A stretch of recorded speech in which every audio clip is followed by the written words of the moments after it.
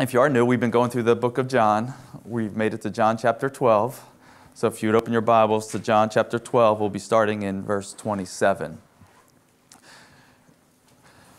Last uh, time we were here, two weeks ago, we saw Jesus. We, there was a triumphal entry, remember? And we saw Jesus riding into Jerusalem on a donkey, and um, with a multitude of people urging him on.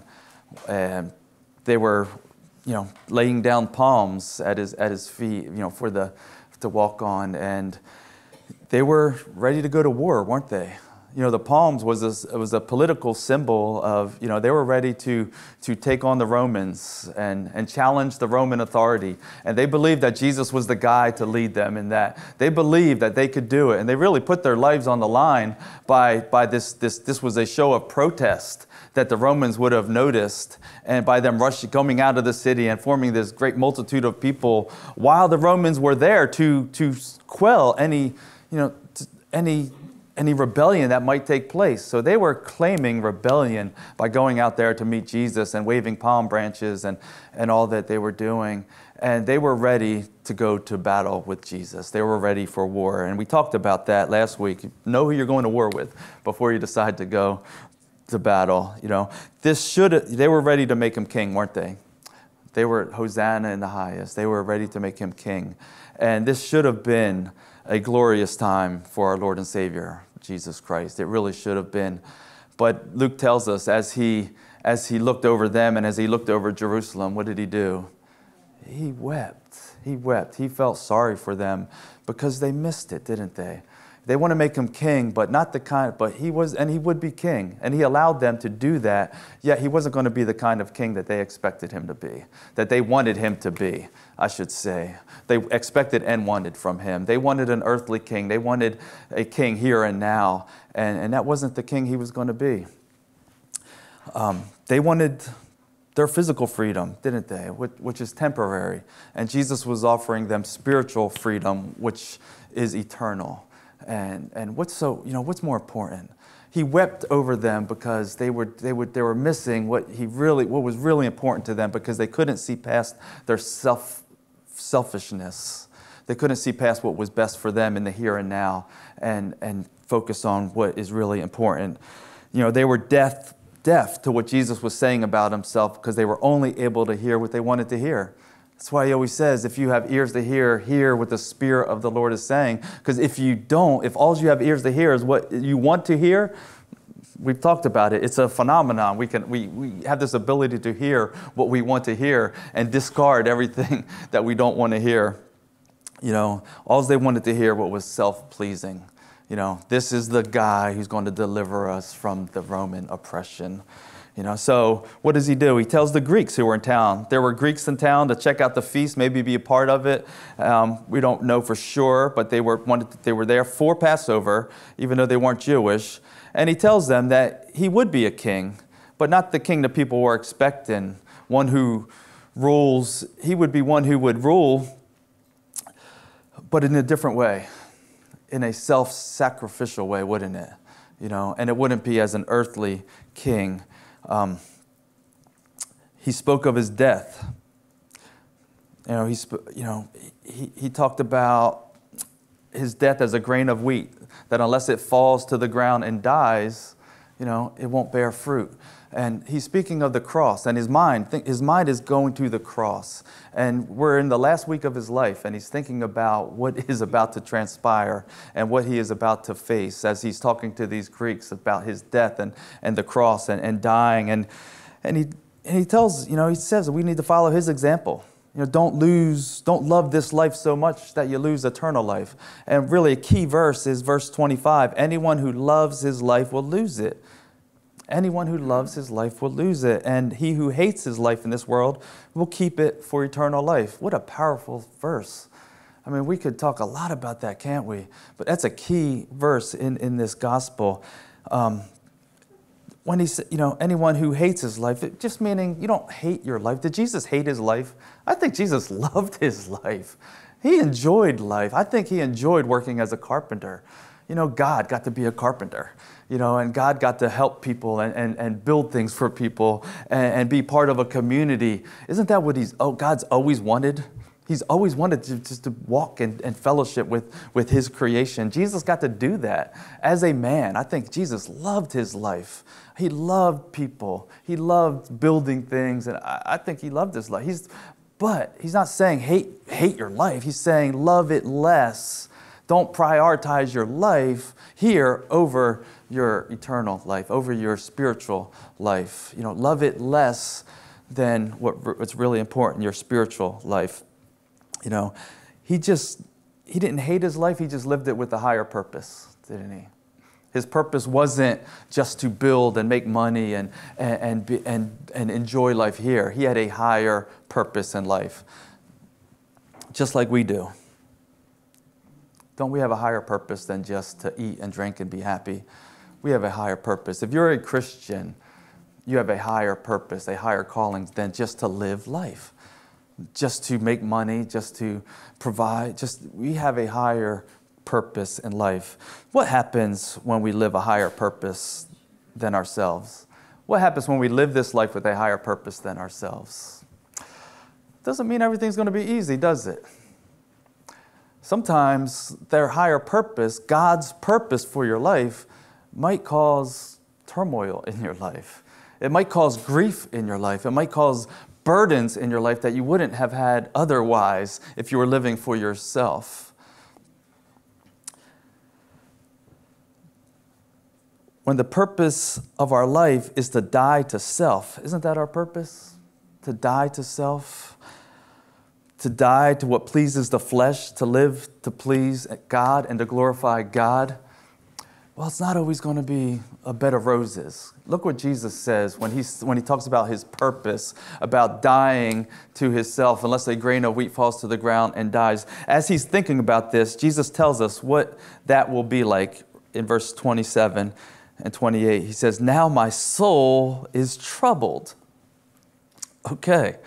Living for a higher purpose, his soul is troubled. And what shall I say? Father, save me from this hour, but for this purpose I came to this hour. Father, glorify your name.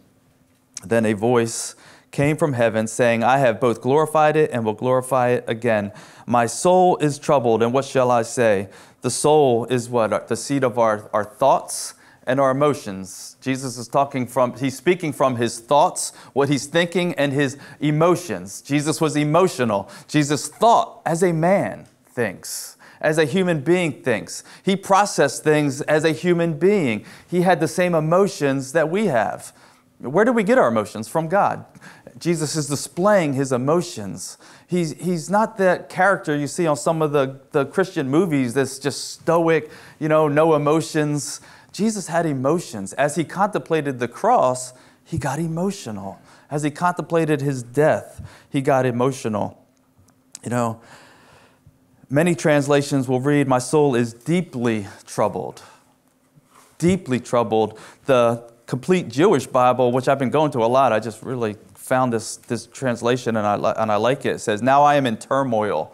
Now I am in turmoil. So there's, a, there's something serious going on. It's not just he's a little emotional, he's, in tur- he's deeply troubled. He's very emotional as he's contemplating this final week of his life, as he's contemplating his death. And he verbalizes it. You know, he's this, this coming dread that, that overwhelms his emotions. He, he's verbalizing it. Isn't that great? You know, I, am not good at verbalizing my emotions. I'd like to shove them down in. I'm, you know, I've gotten really, I used to be really good at suppressing my emotions. So the closer I get to Jesus, the harder it is for me to suppress my emotions. I, they become more verbal. Why is that? Because Jesus does the same thing. He verbalizes his emotions. He doesn't hide them. He doesn't suppress them. I used to be really good at that. Tuck them deep down. Men are good at that. We have boxes for everything in our brains, don't we? And there's boxes I've buried and thrown away up in the attic, and they're just dust. Jeez, the closer I get to Jesus, I, I, I, get more emotional and I express my emotions more. You guys know that if you've been coming here. And, and I just think that's because as we become more like Him, he, he did not hide His emotions, He expresses His emotions. Kind of, I was thinking, as I was thinking about this, I was thinking about Joyce as we're going up Pikes Peak on the motorcycle. You know, it's 14,000 feet and there's no guardrails and it just drops right. To, well, the whole way she's verbalizing her emotions as she as she contemplates the coming dread, like of falling off this mountain, and and constantly in my ears is her verbalizing her emotions. but it was nothing like that for Jesus. No, what was Jesus dreading so much? What was he, why was he dreading, you know, this so much that, that he got emotional? You know, we saw him, in, we see him in the garden, you know, sweating profuse, profusely, isn't he? You know, thinking about, you know, the cross and, and this, you know, what he's, this anguish. Why? Because he's following his father's will, isn't it? He's following his father's will. Following his father's will caused him great anguish. Sometimes following God's will for your life will cause you great anguish. Yeah, that preaches, doesn't it? Yeah, we don't like to preach that. You don't hear that in too many. Following the will of God will sometimes cause great anguish in your, will cause your soul to be deeply troubled.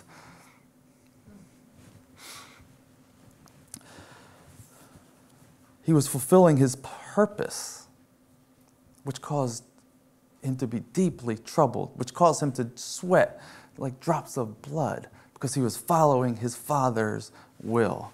Sometimes being a Christian, you, how do you know you're a Christian? How do you know you're following the Father's will? Sometimes it's sometimes it's because your soul is troubled at where He's leading you to. He's not always leading you to just you know fun and games. Sometimes He is leading you to places that no one else is willing to go, or to do things that no one else is willing to do, do the hard things, things that have purpose, have eternal value.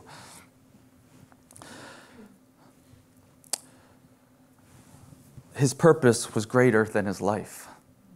Think about that. His purpose was greater than his life. Our purpose, church, is greater than our life.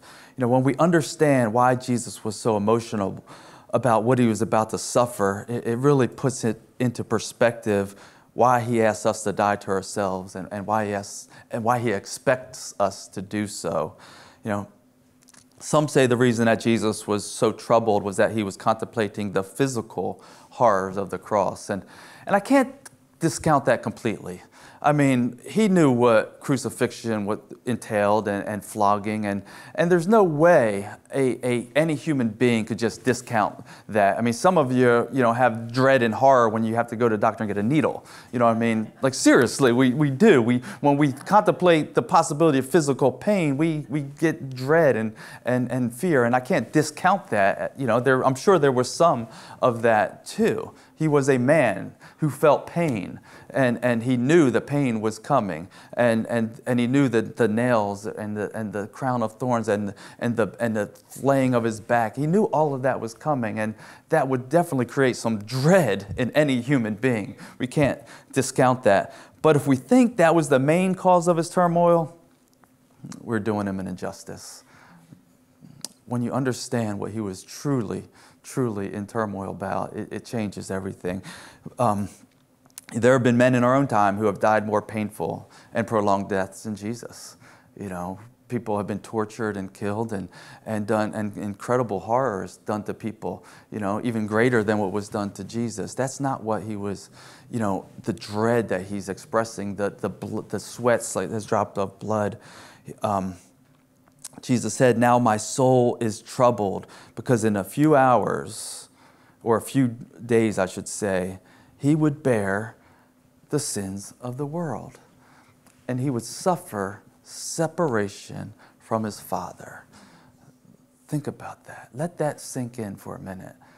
Jesus was terribly, you know, emotional and, and, and dreaded what was coming because he would bear our sins. He would bear sins, the, the, the one who knew no sin, right?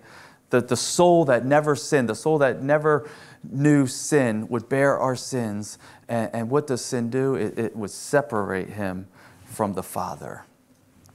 And he couldn't bear the thought of that. You know, 2 Corinthians 5:21 says for he made him who knew no sin to be sin for us that we might become the righteousness of God his soul which had never been tainted with sin you know, would have the sins of the universe poured out on him. He was about to endure the wrath of God as he paid for our sins. Kent Hughes said this His death was sufficient because, as an infinite being in a moment of time, he could pay the infinite price for our sin. Amen. That is why he was in turmoil. We, we see it in Mark 14 34. My soul is exceedingly sorrowful unto death. Unto death. He was so sorrowful, so sorrowful that he just that he could die. Have you ever been that sorrowful? Probably not, but sometimes you may have experienced great sorrow, you just wanted to die just just let it end just just before i have to experience any more of this grief any more of this dread just let me die that, that's how sorrowful he was and then the next verse it says he went a little further and fell on the ground and prayed that if it were possible, the hour might pass from him. The tense means that he was repeatedly casting himself to the ground as he was asking his father, just repeatedly walking and, and falling to the ground and, and asking his father if this cup, if this cup could pass, if this cross could pass for me. That is the dread that our Lord and Savior was experiencing as he faced separation from his father not the physical pain of the cross, as he thought about being separated from his father, he was that emotional.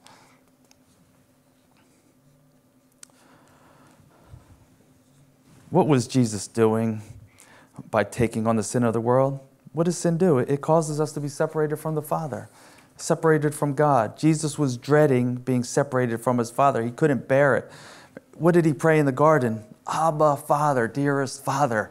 What did he say when he was on the cross? My God, my God, why have you forsaken me? Dread. He couldn't bear being, ta- being forsaken by God because that's what sin does. Our sin was put on him, and God couldn't even look at his own son because of our sin. And Jesus couldn't take it.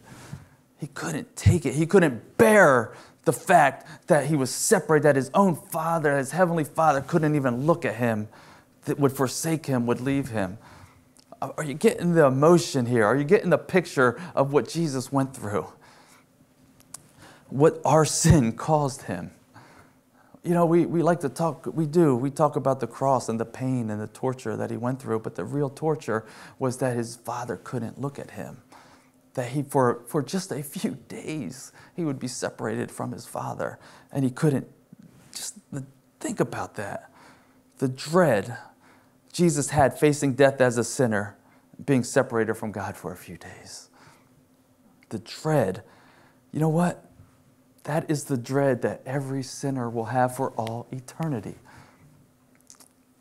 Did you get that? The dread that, that I just described, that I did a horrible job of describing, we can't even describe the dread that Jesus had contemplating being separated from his Father. That is the dread that every single sinner will face for all of eternity. That is hell, church. Separation from the Father. Let me burn, it, but just don't separate me from the Father. Don't separate me from his presence. Nothing disturbed Jesus more than being separated from his Father. If people just understood what eternity without God was like, everyone would be saved, wouldn't they? If they could just grasp the dread that Jesus had uh, of just a moment without his Father, who wouldn't come to know him? Everyone would want to be saved. If they could just see, Jesus was with the Father. He knew what it was like. He was in such, he was one with the Father, and he couldn't bear the thought of being separate. One day, you know, we will stand before him and, and, and be cast out of his presence if we don't know his son. And, and we should dread that.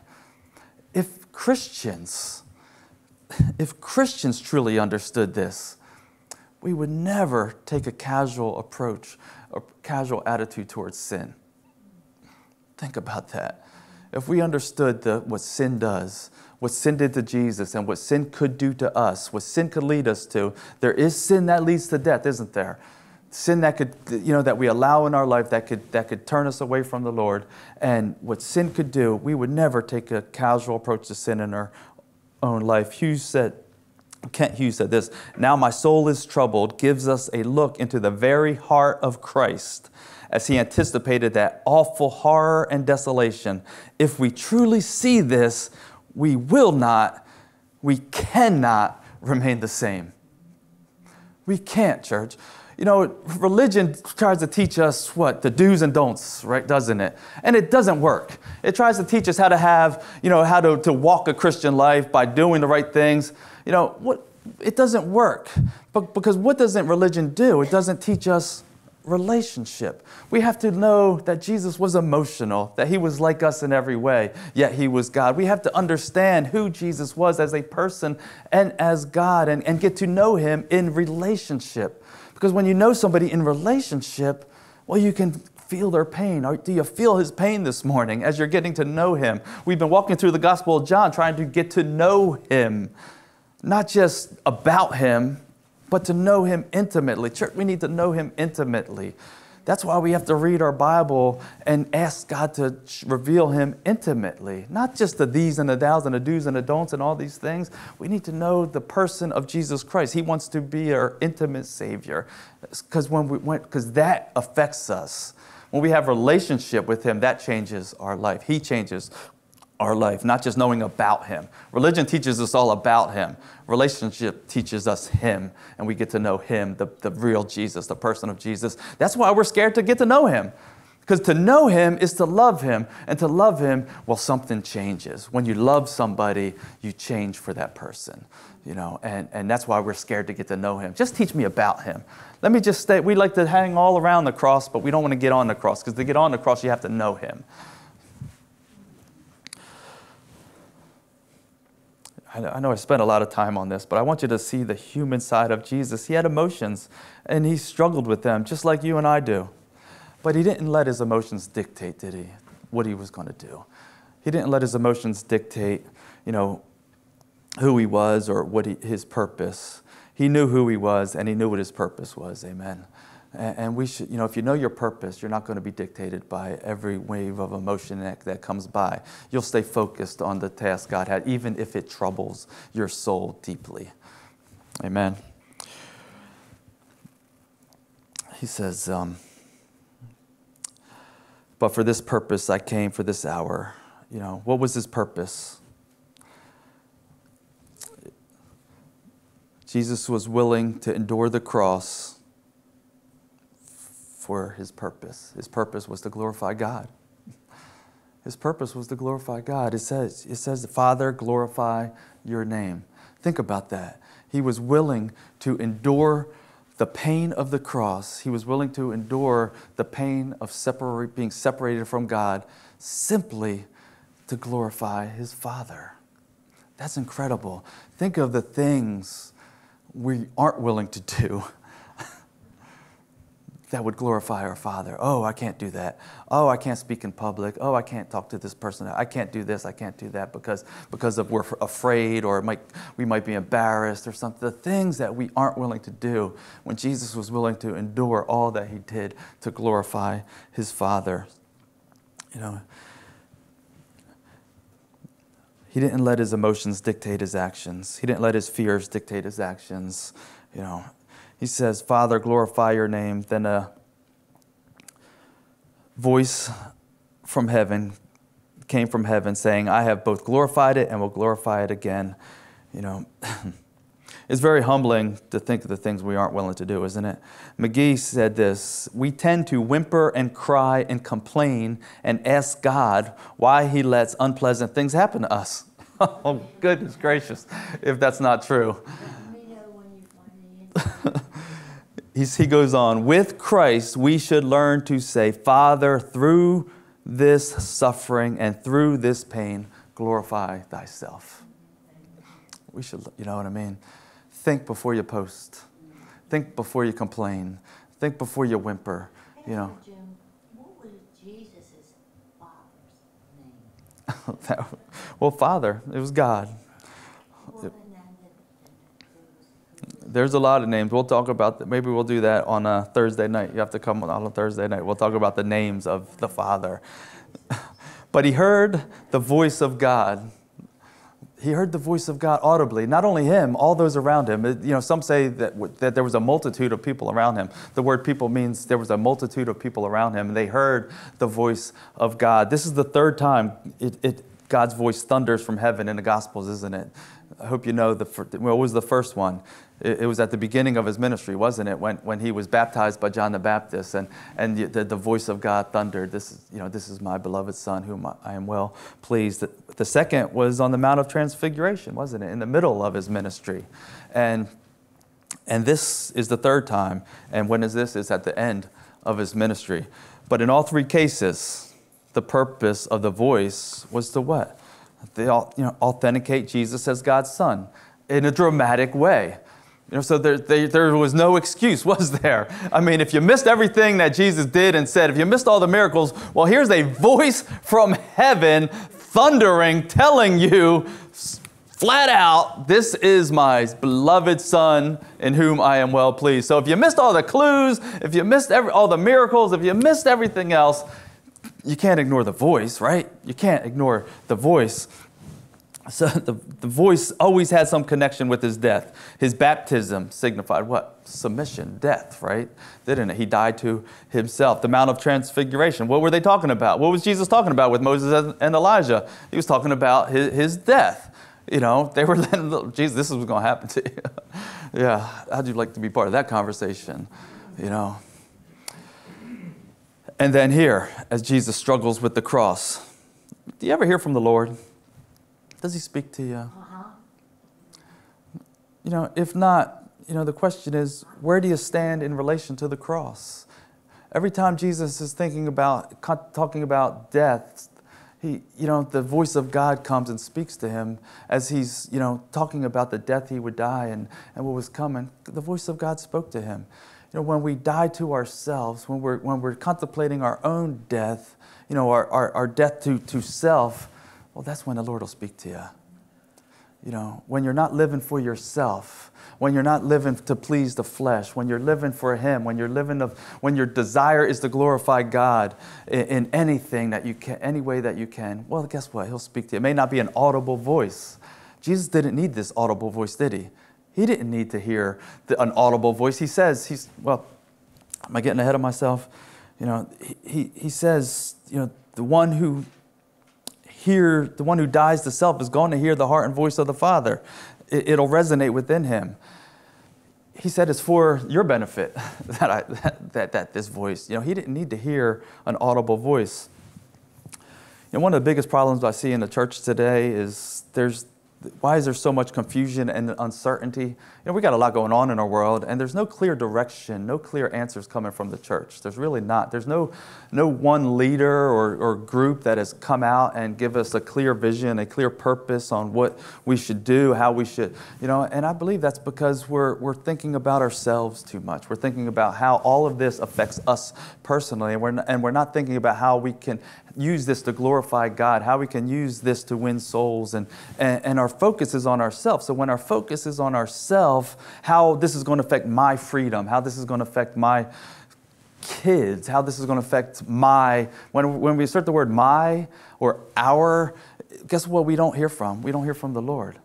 But when we say, Lord, how can we use this, turn this situation for your glory? How can we use this situation to, to reach your children with the gospel of Jesus Christ? How can we use this to affect the kingdom of God? Guess what? Then we will hear from the Lord. Then we will hear clear direction and hear and clear vision. But we're not. We're just we're, everything I'm hearing is focused on on how does this affect me? How does this affect my church, my people, my family? And and we're and there's just nothing but confusion. I, I'm hearing no. At least maybe you've heard. I haven't heard any clear direction. And you know we need to turn our thoughts to glorifying Him. Amen. So you know, the difference is highlighted right here in verse 29. Therefore, the people who stood by and heard it said that it had thundered. Others said an angel has spoken to him. So some heard thunder. Oh, that's not really God. that's just thunder. really? Others heard something supernatural. Maybe it's an angel. What did Jesus hear? Jesus heard the Father. Jesus heard the Father clearly, didn't he? You know, The unsaved looks at the things of God and calls them natural. Oh, that must be thunder. You know, we look at, we were in South Dakota and Colorado, and, and what did I see? I saw, the, I saw God's creation. What did others see? Oh, million, trillions of years of, of erosion and, and, and Mother Nature doing her thing. You know, the unsaved person calls what God has done natural. The carnal Christian, looks at the things of God and, and calls them supernatural, but they don't understand it. Oh, maybe it was an angel. You know, we, we look at the things God is doing, and man, I, I know God has his hand in this, and, and, and we just, they just don't understand it. They, or they, they misinterpret it. You know what I mean? We know there's something spiritual going on, but because I'm a carnal Christian, because I'm not fully invested my life and died to self and living for the Lord, I can't understand. I can't discern what the Spirit of God is telling me. I know, that, I know He's telling me something, and we don't think like that. We think we know what He's saying. I've been there. I think I know what He's saying, but, the, but oh, it's an angel. No, it's not an angel. It's the Lord, it's the Father speaking. Jesus knew it was the Father. See, um, those who are filled with the Spirit of Christ, those who have died to self, well, they clearly hear the voice of God and understand it. Do you see the difference here? We see it in the three, we see those who just call it thunder, something natural. We see those who are spiritual but don't understand. But then we see Jesus, who is connected, who is one with the Father. The same Spirit that is in Christ is in us. We should be able to hear the voice of God as clearly as Jesus did. As clearly as Jesus did. Verse 30 says, Jesus answered, This voice did not come from because of me, but for your sake. Jesus didn't need to hear an audible voice from God. He knew he was in the Father's will, just like we should know. Listen, if you weren't here Thursday, you missed a really good teaching on the will of God. How do we know the will of God? How do we know if we're in the will of God? And guess what? I'm not going to teach it to you now, but you should have been here Thursday. But it was a good teaching. How do we know the will of God? The same way Jesus did the same way Jesus Jesus was 100% confident he was in the will of God. He didn't need to hear an audible voice of God. He was one with the Father. He has given us the, his spirit. His spirit lives with the, within us. We can know the Father's will just as confidently, just as sure as Jesus did. Sorry you missed that lesson. The voice came so there could be no doubt. But there was still doubt, wasn't there? Not even the audible thundering voice of God could cause some to believe. Still, many didn't believe. Some did, many did, but still, think about that. A multitude of people, and, and the crowd is divided. It was thunder, it was an angel. How could you hear the voice of God and, and call it thunder? Still, with all the signs, with everything Jesus said about himself, there was still doubt. And with doubt comes what? Judgment. Judgment. Verse 31 says, Now is the judgment of this world. You know, Courson, Jon Courson said, That which has damned man, that which has held mankind in bondage, sin is being judged by my going to the cross, Jesus declared. He lived a sinless life, he was perfect, and sinful mankind judged him and put him on a cross. And in effect, we've judged ourselves.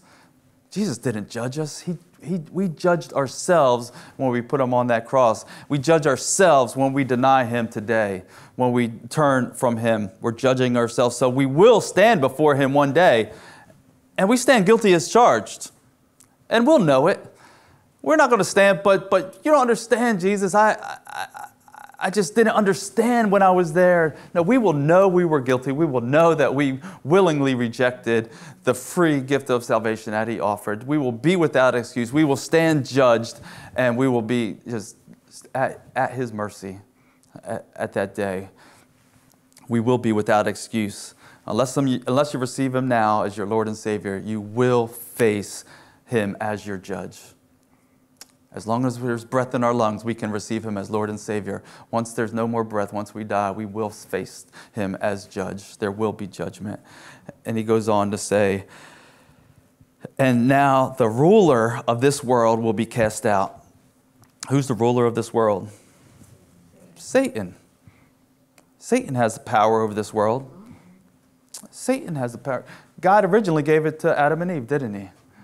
And Adam and Eve surrendered it to Satan. Satan has been the ruler of this world ever since. Make no bones about it. The Bible speaks about it. You know, Satan has been the ruler, he has influenced, infected this world. The cross was the blow that defeated Satan, wasn't it? The, the end of his age, the, end, the ruler of this world will be cast out. The cross is what defeated Satan. What Satan thought the cross, Satan thought the cross would end Jesus. Think about that. He was duped, wasn't he? he thought the cross would end Jesus when in turn the cross ended him. I love that. Well, praise the Lord. So in verse 34, he says, This he said, signifying what death he would die. So they, you know, one day, Satan and his demons, oh, I've skipped this.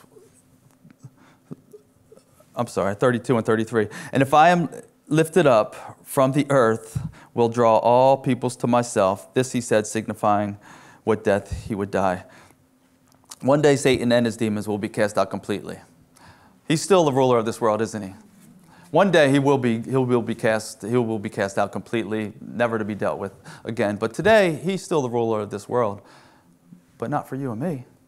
He is not, if you're a believer in Jesus Christ, he is not your ruler you got to get that through your heads because we don't understand that. You know, I got a, had a question the other day from somebody, somebody I know, they've been a, they're a spiritual mentor of mine, they've been a Christian for a long, long time, but they, they don't understand that concept. If, if sin is, you know, talking about Romans 6, or, you know, we're dead to sin and alive in Christ, if, if sin has been, you know, done away with, how can we still sin? Well, my goodness, you should know the answer to that. If you've been a Christian any amount of time, you should understand, you know, we are still connected to the flesh. But you better understand that sin has been defeated. Satan has been defeated in your life. You need to walk in the fact that your victory has already been won. You are no longer a slave to Satan. You are no longer a slave to sin. Unless you understand that, how could you be a Christian for any amount of time and not understand that? Unless you understand that, you're going to continue to walk in sin. You're going to continue to be a slave to sin. You are no longer a slave. You have to crucify the flesh. If you're walking in sin, it's not God's fault. He already set you free from it. You need to walk in the victory that He's already provided, that He's already won. Satan is not your ruler. You left the kingdom of earth and became a citizen of the kingdom of heaven. Walk as a citizen of the kingdom that you rightfully belong in. We try to walk in both, don't we? Or we zigzag. You know, we walk in here Monday through Friday, then we go back to the, to the kingdom of God on Sunday. No. Walk as a citizen of the kingdom of God. It's the victory that has already been won. Let them deal with the dominion of Satan. You walk in victory. You, sin has been defeated in your life. If you have sin in your life, reigning in your life, it's not because it hasn't been defeated on the cross. You have power over that. It's because you willingly want to hold on to it understand that the sin in your life you are allowing to be there. The Spirit of God is there to eradicate, to remove that sin. You'd have to make a choice. You have to choose Jesus over your sin. I've been there, I've done that, and I've been set free from sin. I know what that experience is like. And the freedom that Christ has offered you is, is greater than anything you could ever imagine. So he says in verse 34 the people answered him, We have heard from the law. Okay, now they're thinking, we, This is what we think. We, we know better than you. This is what I've learned from, from the law. This is what I've been taught my whole life. Forget about the voice from heaven. Forget about the miracles. Forget about Lazarus being raised from the dead, which we just saw. Forget about all that. This is what I know. Jesus, let me correct you on, on, what your theology is wrong, Jesus. Let me, let me correct you. Let me straighten you out, Jesus. He says, We have heard from the law that the Christ remains forever. How can you say the Son of Man must be lifted up? Who is the, who is the Son of Man? Jesus, you're not going to die. The, or if, if you're really the Messiah, no, this is, you're, you're not going to die. They're trying to correct Jesus. They believed, they believed the Messiah would never die, you know, and I'm not going to go all into that. And so the, we know the cross was a stumbling block to them. You know, the Bible tells the cross, his death was a stumbling block to them to this day, you know, they, because they know better. They know better. They let their theology, you know, get in the way uh, of receiving Jesus, and it became a stumbling block. Don't let what you think. I always I like to tell people when I'm ministering to them, are you willing to bet your eternity on what you believe from the way you from your life experience from the way you've grown up are you willing to bet your eternity that you are right and the bible is wrong and that, that G, what jesus said with his own mouth is wrong i'm not i'm thinking i'm going to surrender what, what i've learned you know there's a lot i've learned in my public school education that, that, I don't, that i'm not going to bet my life on you know that the earth is you know i don't know how many billions of years they're up to now but now, I'm going to believe the Bible. I'm going to believe what Jesus says. So, so how's Jesus answer him? He says, Then Jesus said to them, A little while longer, the light is with you. Walk while you have the light, lest darkness overtake you. He who walks in darkness does not know where he is going. While you have the light, believe in the light that you may become the sons of light. So he didn't really answer their question, did he? he never does. he never does. He, you know, I love that because he, he just doesn't waste time he, we, we waste time answering questions after question after question with people, and, and it does no good. It does no good because you can answer their questions and they're still not going to believe. So, what does he tell them? He says, Look, he says, he says, light or darkness, make a choice. Light or darkness. You got enough information. Make a choice. Choose light or choose darkness. You know, if you choose light, walk in the light. If not, you're going to walk in darkness for the, for the rest of your life. Make a choice. You got enough information. You heard the voice of God for crying out loud. Make a choice. Make a choice, light or darkness. Sometimes you just got to let people choose. Just make a choice. We can't save everybody. Jesus couldn't save everybody. Neither could we. When we see the cross, we have to choose. Everyone's drawn to the cross. When I be lifted up, I will draw all men unto me. Every time we look at the cross, we have to make a choice. Reject what it means. We know it means something. Or accept what it means. We've got to make a choice. Everyone has to decide which side of the cross they want to be on. Think about that. Remember when Jesus was on the cross? He had, um, on the one side, there was a dying thief. He died blaspheming God and went to eternity separated from God. And on the other side, there was a dying thief. And, and, and he believed. And, and he died and he went to be with Jesus for all eternity. You know, we have to pick a side. We're going to, we're, we, we can't, there's no neutral zone. There's no in between. We either choose as the, as the thief and, and deny him, or we choose as the other thief, because we're all thieves, aren't we? None of us are righteous, no, not one. Maybe you're here today and you haven't chosen to believe. Maybe you have, maybe you've, you know, maybe you haven't even contemplated it, but you, you can't miss the cross behind me. The cross behind me makes you make a choice. You're in church today, you have to make a choice. You just can't. I don't know. You have to make a choice. I see, see, Arlene's not here to patch it. we need no i don't i don't know i i I, I leave that to jesus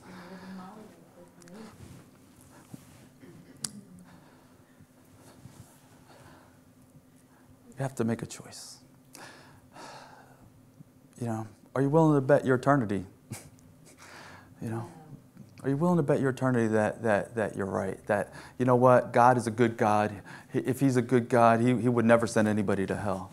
He would never, you know, if, if God is a good God, my, He'll forgive. You know, God's grace will cover my sin. I don't need to worry about sin because He died, and I don't have to worry about sin. And, and are you willing to bet your eternity that you're right? Or were you willing to take Jesus at His word and say, look, you don't want eternity separate from God? He couldn't bear the thought of a moment separated from God, from His Father, let alone an eternity. You know, so I just want to give you an opportunity. He, he, the cross made it easy. He conquered death, hell, and the grave when he died on that cross. He, he took on all of our sins, past, present, and future. He took on all of our sins on that cross. So we don't have to. To glorify his Father. He was motivated by the, to glorify his Father and motivated by his love for us. Think about that. He wanted to glorify his Father, and he, and, he, and he loved us enough to die for us. He lived for his Father. And you heard the message. It may not be easy. He may call you to things, to places where, where that will trouble your soul, but it's worth it. It's worth it. You know, we could face the situations, the circumstances, the, the health problems, the financial problems, the, the family problems, the difficulties of this world in a totally different way. A totally different way if we embrace Jesus Christ. So I just want to ask you this morning if, if you want to receive Jesus as your Lord and your Savior, put Him on the throne of your life, walk as a citizen of the kingdom of God, no longer walking in darkness, but choosing the light of life. Just ask you to raise your hand this morning because we'd like to say a prayer with you. If, if you've never done that, we'd like to pray with you. Just a simple prayer. We'll all do that with you. We'll praise the Lord. And, and I know that's a rededication, but that's okay. And if there's anyone else that would like to join our sister, she raised her hand. And and of receiving Jesus, really surrendering all to Jesus. Listen, I know none of us are perfect. None of us are perfect, but so often we, we fall so short of what God really wants for us, and, and we need to just surrender all. So we're just going to say a prayer with our sister, and if there's anyone anyone want to say that prayer, join her in that prayer. We'll all say it with you. Anyone this morning? Well, let's all say this prayer. And I like this prayer. I got it. You know, Pastor Rick has a great prayer, but it's just a simple prayer from Billy Graham. And I always say if it worked for him, it worked for me. And it worked for us. But it's just believing in your heart, right? I don't know whatever God spoke to you this morning. You know, He, he speaks to us, and it probably, you know, you probably tell me what it was. I'm like, I didn't say that. Because that's how God works. He works in our spirit, He works through our spirit. So God bless you, sis. And, and let's just, can we all say this with her? All right. Dear God, I know I'm a sinner, and I ask for your forgiveness. I believe Jesus Christ is your Son. I believe that He died for, for my sin and that you raised Him to life. I want to trust Him as my Savior and follow Him as Lord. From this day forward, guide my life. Help me to do your will. I pray this in the name of Jesus. Amen. Amen. Well, praise the Lord. God bless you, sis. We give her a round. Thank you for your boldness in raising your hand. And, and you know, welcome to the family of God and welcome to a new commitment, you know, and, and just allowing the Lord to, to, to lead us and guide us. Uh, I've been a Christian, I guess almost, I guess it's almost 30 years now. I, I, I don't, it, it's the one thing you can do in life that the more you surrender of yourself, the better it gets. Think about that. The better it gets, the better it gets. It's a matter of surrendering. The more I can find, listen, you get to a point where you just look for things to surrender. Lord, search my heart. Like David said, search my heart. Know that what is within me, that there, there, there's nothing in me that's holding me back from you you know, because you just want to surrender. You just want to be closer to Him. You know,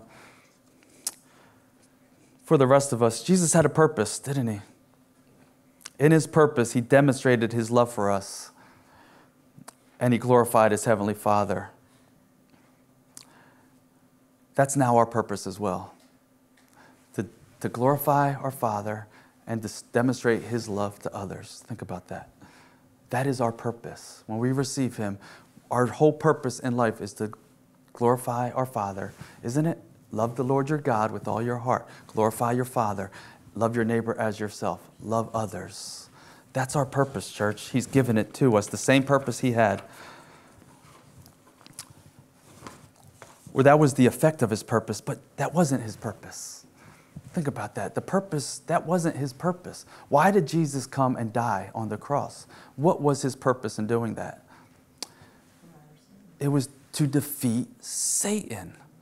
Jesus had to come and die, not to glorify the Father, not to show his love for us. He had to come and die to defeat Satan. That was the only way to defeat Satan because man created the problem, man sinned, so man had to fix the problem. God couldn't just erase it. That's out of, that's not in his design, his, his will and his design for plan. He gave man dominion, so man had to fix the problem. So Jesus had to become a man to defeat Satan. Think about this. Let this sink in. His purpose was to defeat Satan. In doing so, he glorified God and he demonstrated his love for us. Think about that. He came to defeat the ruler of this world. When we continue to sin, that is the opposite of glorifying God and loving our neighbors and loving people, isn't it? Sin is serious. Sin is something to take serious, church. It's not something to be casual about. Jesus came to defeat Satan. So when we sin, what are we doing? Who are we glorifying when we sin? Are we glorifying God when we sin? We're glorifying Satan. Do you think he relishes that? Look what your child is doing. Do you think he tries to rub that in the face of God? When we sin, when we willfully sin, we are glorifying Satan. Don't come to church saying, I love the Lord when we're willfully sinning in our life. There's willful sin because we are glorifying, we are rubbing it in the face, allowing, we are giving Satan, you know, things to rub in the face of God when his children sin. That's why God was so confident in Job. Go ahead, test Job. Job's going to be faithful.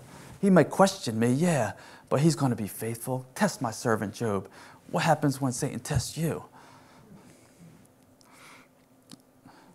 When we don't show love to our neighbor, we're given the enemy ammunition. You know, we're giving the enemy things to, to, to show, to glorify himself. Look, I told you your people wouldn't be no, would be no good. I told you the cross wouldn't be no good. Church, if there's ever been a time to get serious about your walk with the Lord, it is today. It is right now. God needs his church to be serious. You know, I used to think when I was a newer believer, man, do I really want to get this serious about this whole Christianity thing? Can, can I just, you know, can I just, just go to church and, and be a good person and learn and, and, and hang all around the cross? Does it, do I really have to be serious about this? you know what? So many of us stop right there and, and we never get serious. Why do you take it so seriously? You know, I mean, it's just, you know, you, you can do your thing and, and grace, you got grace. And why has it got to be so? Listen, it's a serious matter. Sin is a serious matter. We need to confront the sin in our life and do it away with it. He's given us everything we need. Amen. Oh, I hope you get that. I hope you get that. Well, let's just pray. Lord, I thank you for your word. Thank you for your spirit being present with us. I pray that we hear the voice of God this morning. Thank you for that one who, who has heard and, and, and committed her life to you, Lord. Be with her as she follows you all the days of her life. Strengthen her. May she be in tune with you, Lord. Fill her with your spirit that she would be able to hear the voice of God, that you would lead her and guide her, that she would know that she's walking in the center of your will. Lord, give her just a burning desire to, to open your word and study for herself, to show herself approved, Lord, and to, to be involved in the things of God and to Bible studies and such, to, to put people alongside of her to help her grow. And Lord, for the rest, for all of us, Lord, may we truly get serious, Lord, about the things of God, about the sin in our life, Lord, the things that are holding us back, the things that are dishonoring to you, that are glorifying the devil, Lord. May we truly be serious, Lord. We see how your son, Lord, was so emotional as he present, prepared to be, you know, be crucified on that cross, to be separated from you. May that motivate us. May that move us, Lord, in relationship with him, in our love for him, to, to cleanse our lives. Paul got it. He said, Therefore, in my brothers, my sisters, in view of God's mercy, in view of what He's done, offer your bodies as a living sacrifice, holy and pleasing to God. This is your spiritual act of worship. Lord, may we offer our bodies as a living sacrifice, no longer concerned about the things, the affairs of this world, but about the affairs of the kingdom of heaven that we would truly be effective and fruitful. Unless a grain of wheat falls to the ground and dies, it won't be fruitful. Unless we die to ourselves, we will be of no good to you. Lord, you say that to be lukewarm is, is, is, is horrible, that you would even spew us out of your mouth.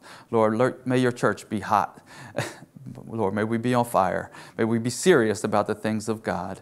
Lord, may it begin right now. May we repent in our hearts and say, Lord, and make you Lord of our lives today. I ask this in Jesus' name. Amen. Amen. Well, praise the Lord.